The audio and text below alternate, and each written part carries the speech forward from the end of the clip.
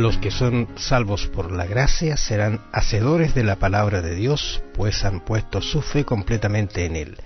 Bienvenidos, amables oyentes, a su programa Diálogo Bíblico junto al pastor Horacio Rodríguez, que les habla Raúl Medina. Les saludo cariñosamente, como siempre, con un gran abrazo.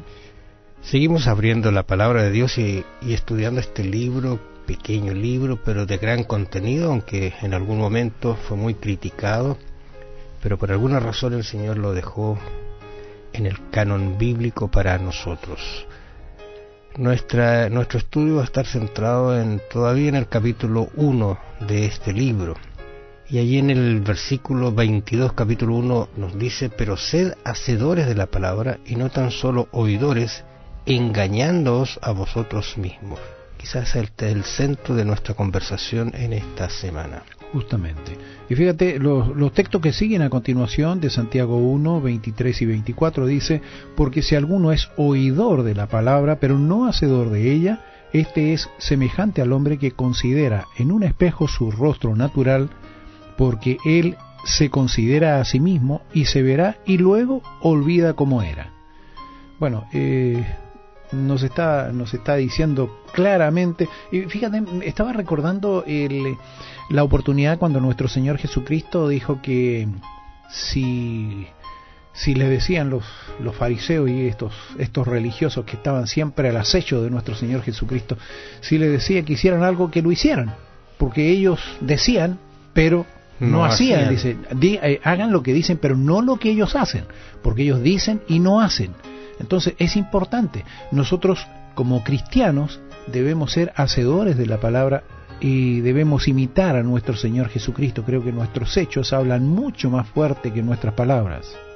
Exactamente, interesante porque Santiago está enfocando eh, algunos conceptos que hacen bien recordar, especialmente porque yo decía al comienzo que fue un poquito criticada esta epístola porque se tendía quizás a ser un poquito legalista e ir a las obras mayormente y como resultado de obras uno lograba la salvación. Pero interesante porque él dice, si alguno es oidor, o sea, está hablando de personas que escuchan la palabra, no son ajenos a la palabra de Dios. Correcto. Mm, que la escuchan, pero no son eh, hacedores, como decir así, prácticos, no lo llevan a la vida, a la intención, entonces aparece el concepto de que el enemigo número uno que uno tiene en la vida es uno mismo, porque se engaña a uno mismo, y lo dice el, el hombre, dice, se considera en un espejo su rostro natural, él se mira y después se va, dice, y, y puede que la figura que tuvo cuando estaba mirándose al espejo sea una, pero ahora la que presenta es otra, otra cara. Correcto. Otra persona diferente. Ahora fíjate, eh, creo que debemos tener bien claro el hecho de que todos tenemos la tendencia al pecado.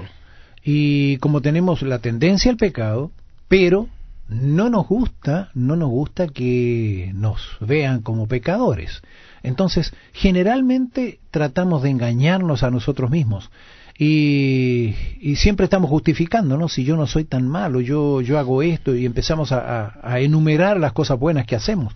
Pero eh, podemos decir que la salvación comienza cuando nos vemos tal como somos, no lo que imaginamos que somos, porque nosotros tenemos una imagen de nosotros mismos que generalmente no es tan mala. Yo soy mucho mejor que muchas personas. Entonces, eh, el problema es ese. Cuando, cuando no vemos lo que realmente somos, no necesitamos salvación tampoco. Y la Biblia de alguna manera lo dejó escrito allí en Mateo capítulo 19, 16. Eh, dice, entonces vino uno y le dijo, maestro, bueno, ¿qué bien haré para tener la vida eterna? Yo creo que Cristo era bueno, pero él está tratando de, darle una enseñanza a este hombre que se acercó, porque las intenciones de este hombre eh, tenían tenían detrás de ello un problemita al parecer, y le dijo, ¿por qué me llamas bueno? Ninguno es bueno sino uno, Dios.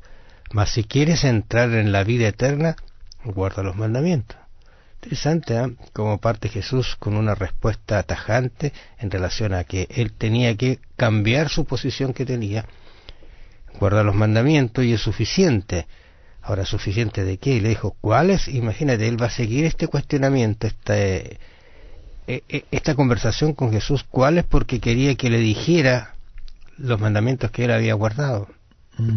Te fijas que hay un problema básico de nosotros que nosotros eh, entendemos, la estudiamos la Biblia, eh, podemos repetir los mandamientos del 1 al 10, ¿no es cierto? Incluso tener algunos conceptos claros de su interpretación, pero luego aparece lo que le falta. Y quizás es el, el problema, quizás es el cuestionamiento que cada uno debería hacerse, quizás al ir al Señor, ¿qué me falta, Señor, para ser como tú quieres, no como yo quiero ser?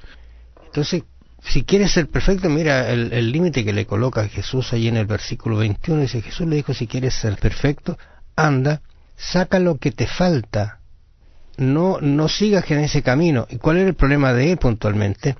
Dice, anda, vende lo que tienes y dalo a los pobres y tendrás tesoro en el cielo y ven y sígueme. Algo le faltaba. ¿Le faltaba qué cosa el hacer? Pues? Porque al parecer las riquezas de él, ¿no es cierto?, eran eran su ídolo. Eran su ídolo y quizás tenía a su lado algunas personas. Aunque él no lo pensaba así. Claro. Fíjate, eh, es interesante también que hay quienes dicen que los mandamientos mm, eh, ya nosotros no tenemos que guardarlo porque el Señor se dio cuenta que no podíamos, eh, era algo imposible para nosotros. Pero ¿por qué entonces le dice el Señor guarda los mandamientos y, le enumera, le enumera cuáles mandamientos? Fíjate, no, no enumera ninguno de los cuatro primeros mandamientos que tienen que ver con Dios. ¿Significa eso que eso no, no tenía importancia? Que ese era su problema, justamente las relaciones paralelas entre los iguales. Claro, seguramente él, él, hacía todo lo mejor en relación con Dios, pero le faltaba la parte, eh, su relación con el prójimo. Por eso que el Señor le, le, habla acerca de esto precisamente. Y tiene que ver con el prójimo cuando le dice que venda lo que tiene y lo dé a los pobres. Entonces, eh, aquí nosotros podemos ver que este joven, como se le llama el joven rico, tenía problemas con él mismo y, y ¿sabe? Me, acordaba también de, de, aquella otra situación cuando subieron eh, el, el, el fariseo y el publicano, subieron a orar. Y uno oraba diciéndole a Dios cuán bueno era, mm, que ayunaba, devolvía el diezmo, en fin, y que no era como aquel otro publicano que estaba, estaba ahí. Y el hombre, este hombre, reconocía lo que realmente era, dice que no se atrevía a levantar la vista siquiera, sino que golpeaba su pecho y decía, Señor, sé propicio a mi pecador. Él, aquel que reconoció su pecado, bajó justificado, dice, del templo, y el otro no. Bueno, el otro no porque, porque nunca reconoció lo que, lo que necesitaba, lo que era. Y creo que él se estaba engañando a sí mismo. Dos posiciones distintas, ¿verdad? Eh, estoy recordando también a Pedro, que Pedro era impulsivo, le dijo una vez al Señor, mira, aunque todos te, se escandalicen de ti, yo nunca me escandalizaré. en otras palabras, Pedro no se conocía a sí mismo y la historia dice que lamentablemente eso que él dijo no sirvió de nada porque él no cumplió eso de estar cerca del Señor en el momento más propicio. Pero fíjate que Pedro era, era sincero, ¿eh? Y era sincero, pero se dio cuenta cuando se enfrentó con Cristo, claro que sí, que él realmente le faltaba ese elemento que hacía la conexión, ¿no es cierto?, con su maestro. Amables oyentes, un placer haber estado en este día con ustedes. Los invitamos para mañana a una nueva audición de su programa Diálogo Bíblico. Bendiciones. Siempre es muy fácil ver las faltas en los demás, pero no las propias, ¿verdad? No importa en lo profundo probablemente nos damos cuenta de nuestras faltas, de lo que queremos admitir. Mire profundamente en su alma. ¿Qué le dice lo que ve acerca de por qué necesita un Salvador? O si no, perderse por la eternidad y con toda razón? Piénselo. Que el Señor le bendiga. Será hasta mañana.